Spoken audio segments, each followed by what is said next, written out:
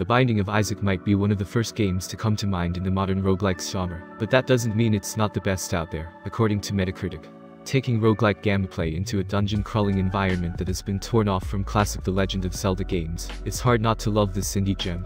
The graphics and gameplay are very easy and more than enough to grab anyone who is a fan of this genre. The story is also very bizarre compared to many other thugs, as the players follow Isaac, as he escapes from his religiously insane mother, while trying to kill him.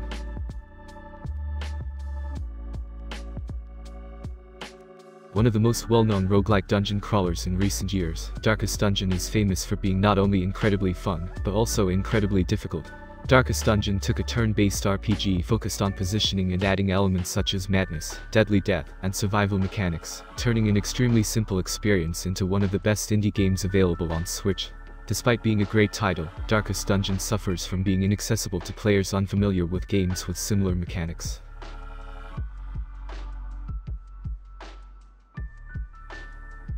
Crypt of the Necrodancer, one of the strangest games in terms of concept on Switch, takes a standard dungeon roguelike and adds a rhythm mechanic to the mix. The minds behind this title could easily use pre-existing music, but instead, they created one of the best music to play, and some of the best soundtracks in a video game to date.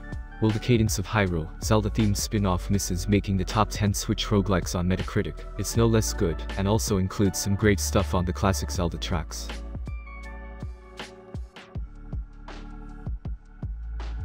This pixel art roguelike looks more like it was pulled from Stardew Valley, as both games have a very similar art style and color palette. However, Undermine's dungeon crawl combat is closer to the binding of Isaac or Moonlighter, the methodical farming simulation. But it attracts actors and has managed to gain attention in the best ways.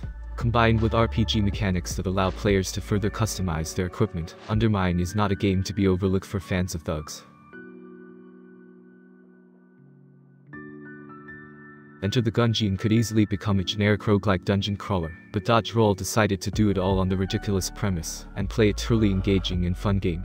As the title suggests, players must enter the Gungeon, a dungeon full of references to firearms and ammunition of all kinds, when using weapons that are not out of place in worms, such as bananas and peas.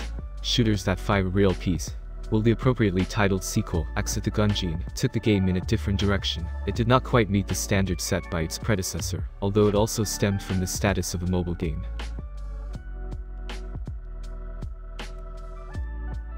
On paper, Dicey Dungeon should work nowhere as close as it is, combining text-heavy combat reminiscent of tabletop RPGs, and a combat system quite similar to card-based games. However, this game achieves this with a fascinating style of cartoon art found in similarly drawn games like the comedy, Night in the Woods, and a surprisingly deep and entertaining game that gives a fresh breath of an inflated genre.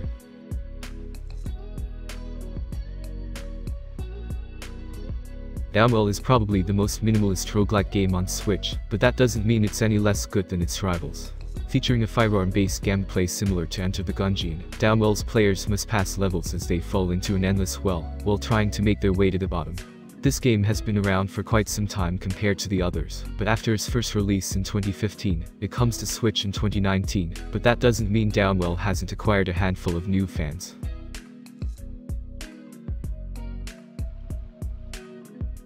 Many people might rightly think Dead Cells is the best roguelike game on Switch, but Metacritic thinks otherwise taking on the procedurally generated Metroidvania worlds that make Risk of Rain so popular and add a much more colorful universe to explore. Dead Cells is not only one of the best roguelike games on Switch, but also considered one of the best roguelike games of all time. Dead Cells is also almost impossible to complete because developers are constantly adding more content to keep the game fresh, even after hundreds of hours of dev. From the makers of FTL comes a roguelike tactical RPG, similar to the likes of Faster Than Light, XCOM, or Fire Emblem, which are unfortunately not on Switch. But in this case, Into the Breach goes to the more sci-fi setting where the player controls three mechanisms in the battle against giant monsters called Vek, who will give nothing to destroying humanity. What sets this game apart from other tactical RPGs is how it telegraphs an enemy's attacks, and adds a layer of strategy not seen in similar titles.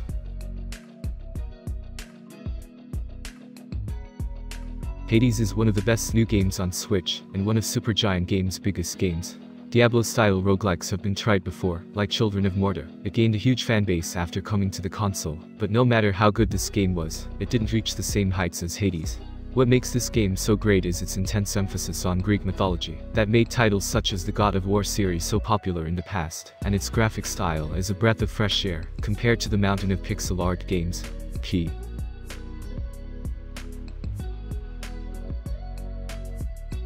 Thank you for watching the video. If you like the video, don't forget to click the like button and subscribe to the page.